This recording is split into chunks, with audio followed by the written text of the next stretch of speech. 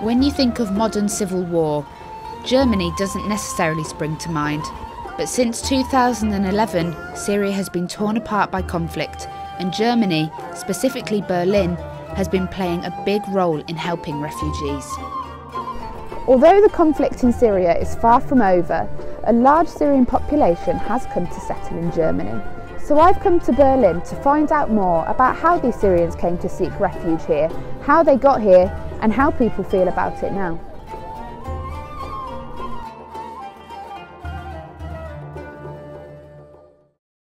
Since the conflict in Syria began over seven years ago, almost 13 million people have been displaced. Over 5 million people have moved to neighbouring countries such as Lebanon, Iraq, and Egypt, and more than half a million refugees fled to Germany, over 2,000 miles away on foot, where there have been mixed responses about their arrival. Although it hasn't all been plain sailing for Syrian people in Germany, they have managed to create a life for themselves, especially in Neukölln, one of Berlin's most international districts. And walking around, you can really see the cultural influences. Sonnenallee is a five kilometre stretch of road in Berlin, which for a long time has been home to a large Middle Eastern and Turkish community. But now Syrian people are really making their presence felt too. It seems appropriate that this road was once intersected by the Berlin Wall, as it's now an example of people of different cultures, ethnicities, and religions working and living together. I travelled across the city to Al Hamra, an authentic Arabic cafe in the heart of Berlin, to speak with two refugees. Ihab Sukaria, who is 20 and came to Berlin in 2015, and Mohammed Wanli, who arrived in 2014.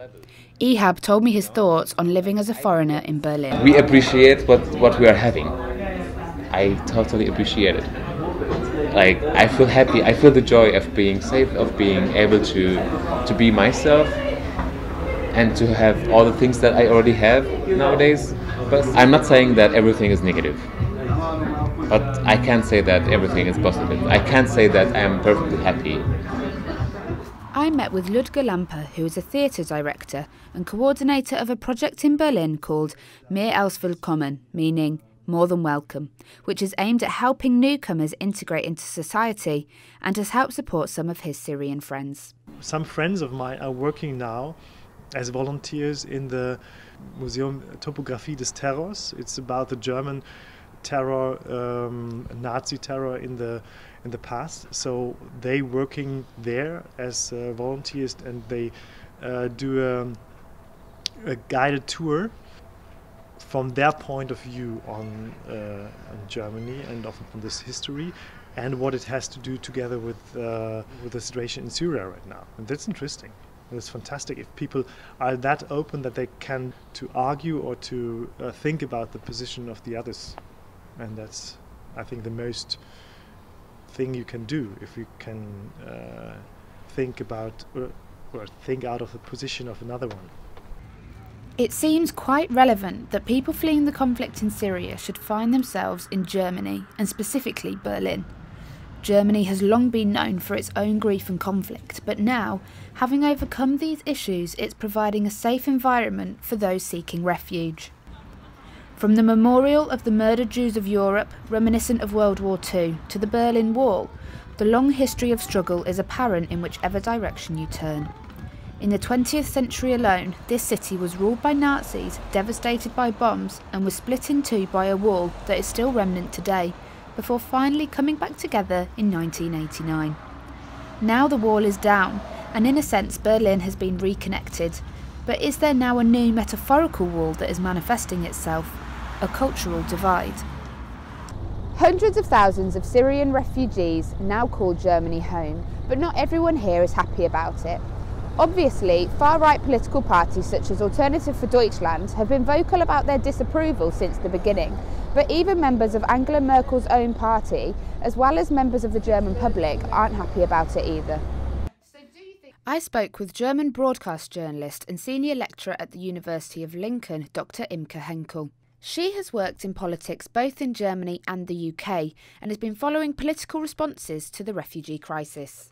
The AfD, the um, Alter Alternative für Deutschland, so these um, German UKIP in a way, and a Eurosceptic and then also hostile to immigrants. That grew a lot in popularity. Who is very much strict anti-refugees and has all this kind kind of identity and again brings in the Islam. They actually recently said that again, Islam is not a part of Germany.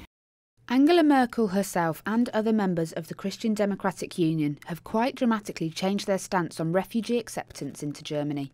And it was actually extraordinary to watch that from, from the distance because that was a masterpiece of um, political adeptness because she kept saying um, her famous sentence, Wir schaffen das, we manage and we can do that. So this um, rhetorical can-doism still was very much out there, and she kept saying it, and even after a year, and she was constantly asked by the media, "Do you still say we can do that?" And said, "Yeah, I still say." And why saying that? She completely changed the policy. The arrival and integration of refugees continues to be a controversial issue for all Western countries, not just Germany. Headlines like these have become commonplace in the media over the last few years a refugee crisis for the world, life or death, tiny victim of a human catastrophe. Headlines that reiterate the crisis that is taking place. Aggressive headlines such as this, although true, mean that it can be difficult for refugees to be accepted and not feared. داعمين له بسوريا وصلوا فكرة للغرب لإلكم إنه السوريين هن ISIS Mohammed is an atheist, but he explained to me that there is a stigma that all Syrians are Muslims and all Muslims are terrorists, but this image is a government construct aimed at breaking down the revolution in Syria. He said that Syrians are lawyers and doctors, artists, dancers, Muslim, Jewish, Christian, and have just as diverse a population as any other country.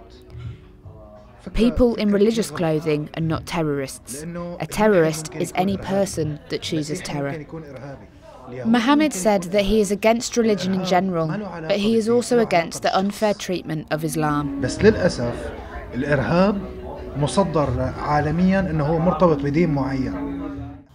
Ehab has noticed how Berlin's level of acceptance seems to have changed over time. That wasn't like this.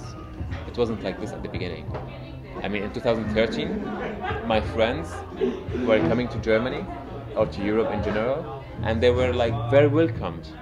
But after we uh, start to be a lot, he like a big amount of people coming to Europe, then they started to feel like, okay, we didn't want this.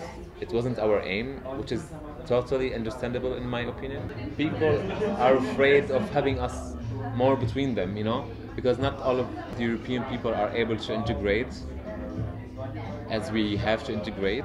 Like people wanted to stay the way they want, or the way they are, or the way they used to be. Integration is an issue for countries the world over, not just in Europe. Some people may think that migrants pose a threat to culture, jobs, and access to state services, and perhaps find it difficult to see things from another perspective. But speaking with Ludger, it's clear that there are far less accepting countries than Germany to find yourself in of course there are too much of the people who do not accept or do not want the newcomers. What what it, the German state right now does is that they the people get language courses, they get uh, integration courses, they get to know about the community, uh, society, and there's already a lot of changing in the mind of the people and the mind of the politics. Uh, but uh, and I would say in general, Germany is still kind of open-minded, or the, as a as a federal state, and also uh, from the from a lot of people. في دمشق تجده في جميع أراضي الياسمين.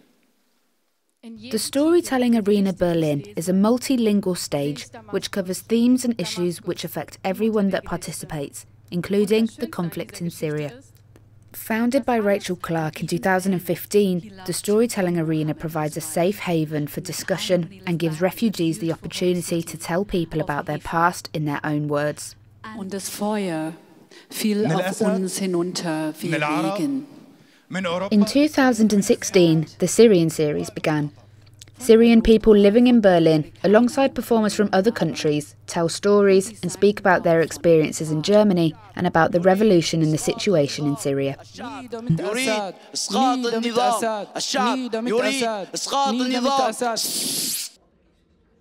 I spoke with Rachel, who is a storyteller herself, about how the Syrian series came about and how it is bringing people from different backgrounds together in Berlin. Um, at the beginning, uh, the idea was to get to know our new neighbours because um, we had the special situation in Berlin and in Germany that so many people arrived uh, from Syria at the same time, and everybody was curious. I mean, Berlin is an international city anyway, and people here really wanted to know who are our new neighbours, and were excited because a lot of people here have travelled. They were excited to know, my goodness, what is what was Syria like um, before the war, and who are these people? What makes them tick? What's their identity?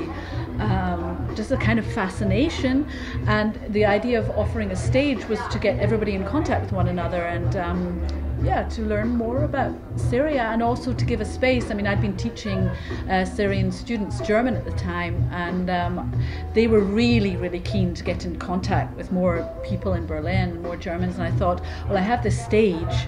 It seems like a perfect idea. They've been fascinating me in, in my classes with uh, with their stories, so why not give them that space and, uh, and a stage in Berlin to do it?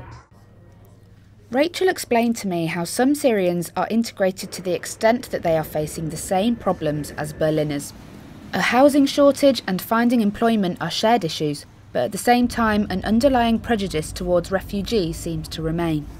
Their qualifications don't seem to make any sense here, even if they're highly skilled, it's not recognised. So suddenly they've, they've lost a whole future. Their future has become their past, and their present is somehow disorientated. So they're in this state of limbo. And of course, knowing that the country that, that you loved uh, has been destroyed doesn't make that any easier to start again, to, to set up a new future for yourself, knowing how your people are suffering and knowing that your, everything that you had planned has, has gone and crumbled uh, behind you.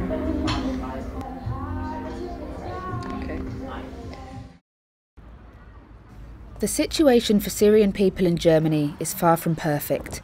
Settling into a country that knows nothing of your home or culture is no easy task, and there is certainly still a long way to go in terms of acceptance and equality, even though programmes such as Mehr als Willkommen and the Storytelling Arena Berlin are paving the way.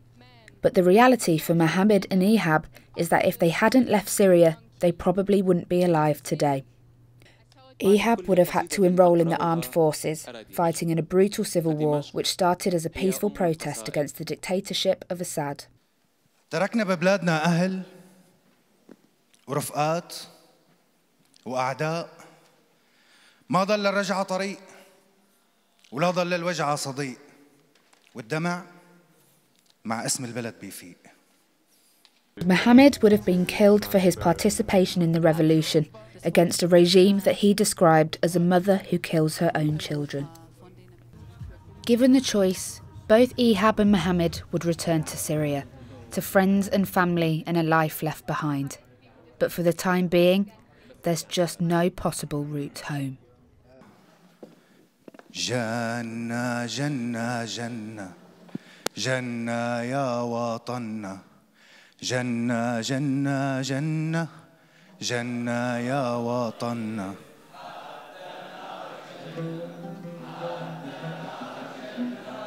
شكرا.